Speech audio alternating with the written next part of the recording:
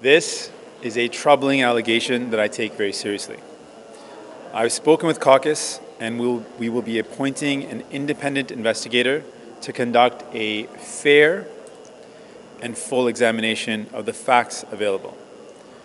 While that process is ongoing, Mr. Weir's duties as NDP MP will be temporarily suspended. Once the work of the investigator has completed, the MP's role in caucus will be reevaluated. I'm committed to creating a safe workplace for all and ensuring that all survivors feel safe to come forward. At this point in time, we don't have a survivor or someone who's coming forward specifically. Because that's the case, we really believe in a survivor driven process. That's a very fundamental thing.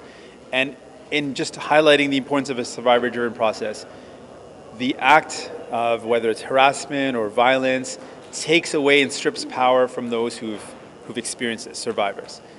And to, re, to reestablish or to, to rectify this imbalance of power, it requires giving power back to those who have gone through this, survivors.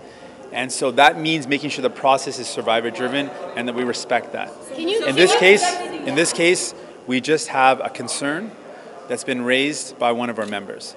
The concern is serious enough for me to take action, and that's why I'm taking action at this point. Is it sexual harassment or psychological harassment? No, we're not clear. Uh, nothing that I, right now, from what I've read, does not suggest that it's sexual in nature. Uh, it's just harassment, is so what you I've.